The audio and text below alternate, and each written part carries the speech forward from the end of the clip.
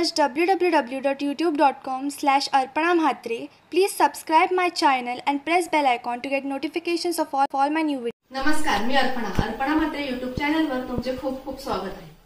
मी तुम्हाला मागे आमची पारंपरिक भंडारी लाल मसाल्याची रेसिपी शेअर केली.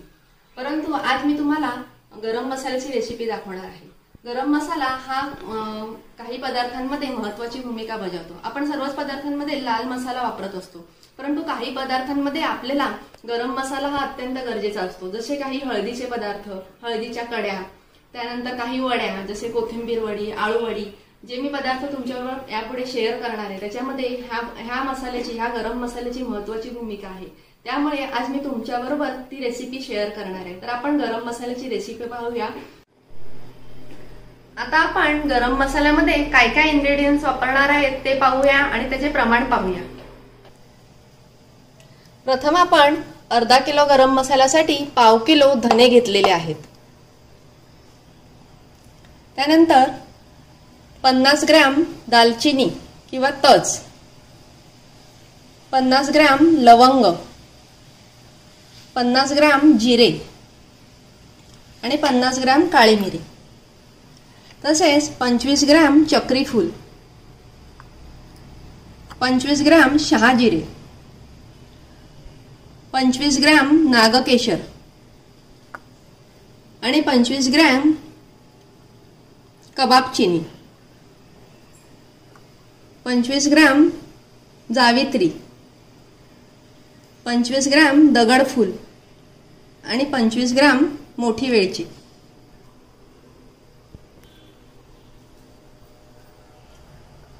अशा प्रकारे आपण सर्व बारा प्रकारचे पदार्थ घेतलेले आहेत.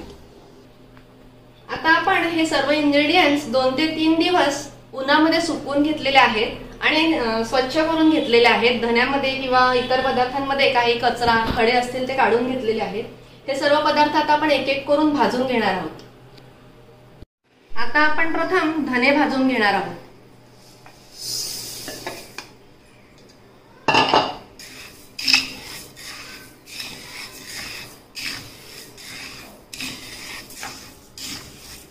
आपण दोन ते तीन मिनटं चांगले धने भाजून घेतलेले आहेत. अशा प्रकारे आपण धने व्यवस्थित भाजून घेतलेले आहेत.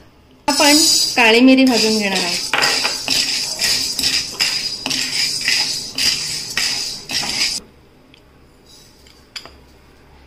जिरे.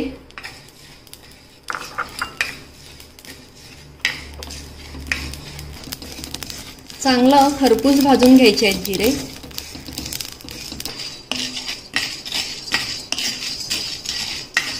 लवंग.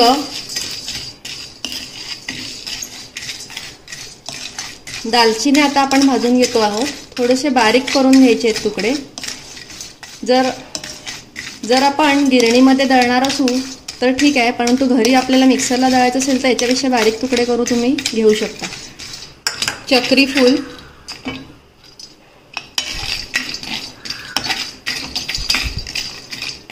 मोठी वेळची मसाला वेळची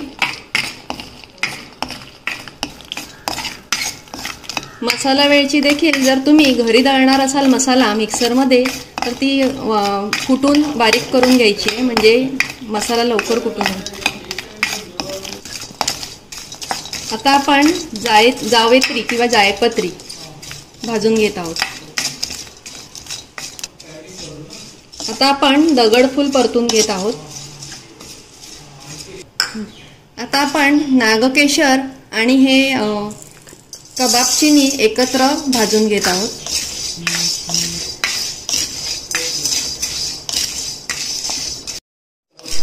नागकेशर आणि कबाब चिनी थोडा वेळ भाजून घेतलेला आहे. आता शेवटी शहाजिरे भाजत आहोत. आता आपण हा सर्व मसाला म्हणजे सगळे बारा पदार्थ मसाल्याचे भा चांगले भाजून घेतलेले आहेत.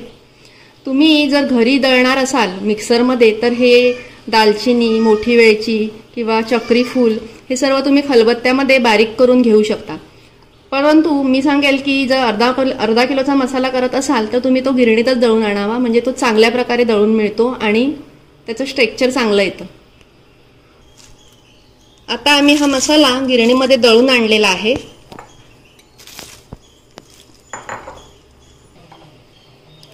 पहा किती सुंदर रंग आणि वास आहे याचा.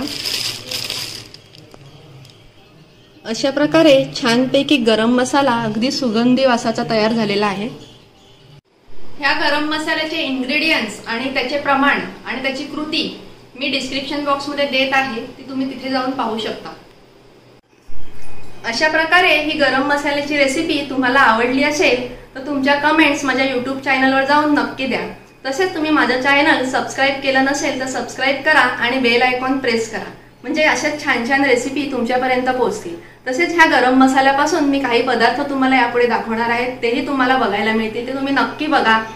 बाय फ्रेंड्स नमस्कार.